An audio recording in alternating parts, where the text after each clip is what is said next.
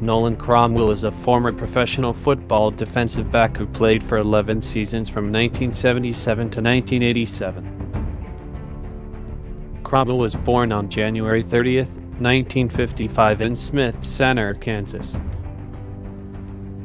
In college, Cromwell played for the Kansas Jayhawks in Lawrence, Kansas.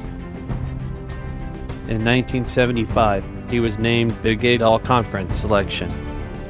Over 11 seasons, Cromwell played for the Los Angeles Rams.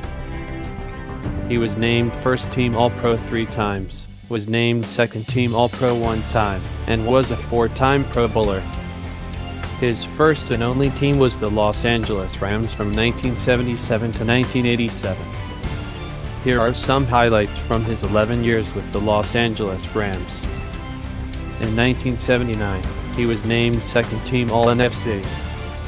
In 1980, he was named first team All NFC, was named NFL 101 NFC Defensive Player of the Year, was named UPI NFC Defensive Player of the Year, and was named Football Digest NFL Defensive Back of the Year.